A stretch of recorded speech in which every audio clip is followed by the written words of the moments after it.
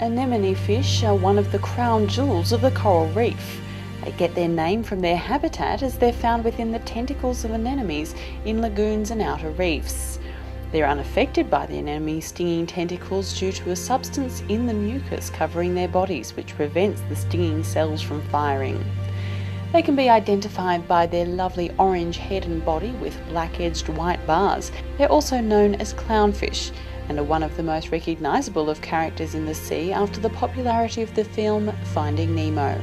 Barrier reef anemone fish are hermaphroditic, with young developing into males first and only later into females if conditions are appropriate.